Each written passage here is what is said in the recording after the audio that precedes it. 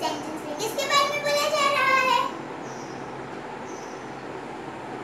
Correct Ali is the subject Ali के बारे में क्या बोला जा रहा है? Correct is a good boy is the predicate friends remember sentence में जिसके बारे में बोला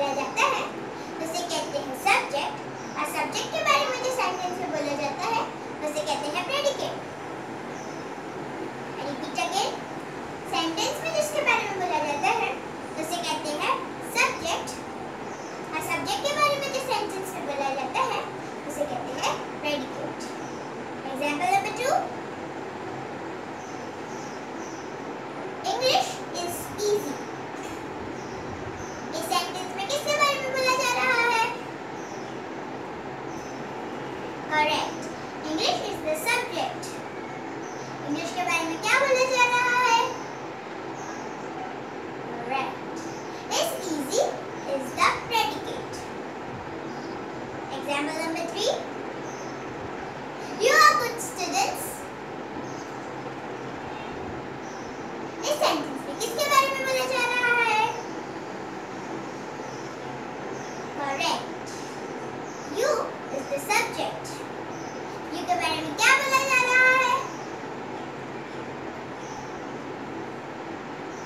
correct.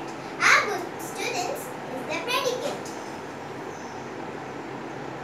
Friends, I repeat again. Sentence में जिसके बारे में बोला जाता है उसे कहते हैं subject. और subject के बारे में जो sentence में बोला जाता है उसे कहते हैं predicate.